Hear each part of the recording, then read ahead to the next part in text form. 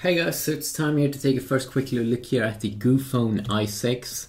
So um, as you can see first there's a little bit of this uh, iPhone 6 design uh, to the back of the device and uh, also the front a little bit. Uh, so this device is uh, featuring a um, quad-core processor actually which is pretty nice for the price. It costs like $150, very very good price uh, for a quad-core smartphone so quad core runs Android over here.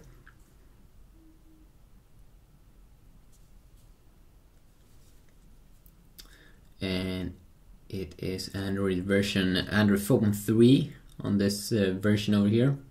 Which is not the latest version of Android, but it's still pretty pretty okay. Uh, especially in terms of performance here.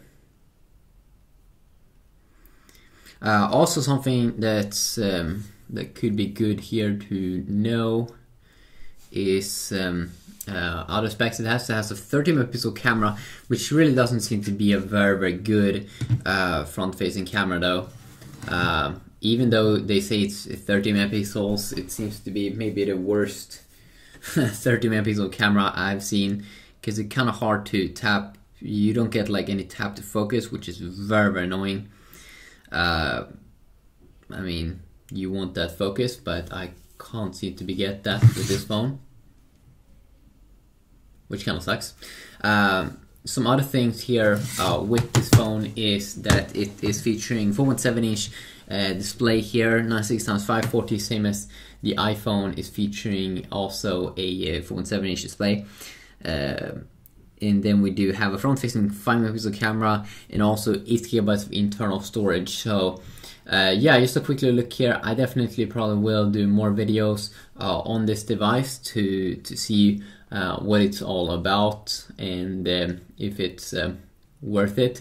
I mean, you have to remember that this device costs around. You can get almost like five or six iPhone six for you can or you can get almost like five or six Goophone i6 for one iPhone 6 so it could definitely uh, be worth it. I mean still it's a phone and it looks like an iPhone and that can definitely be fun for a lot of people. Even the um, even the charger looks like an iPhone 6 which is also pretty fun. Uh, so yeah just quickly first look here. Definitely let me know what you want to see with it and I definitely will see what I can do. Peace out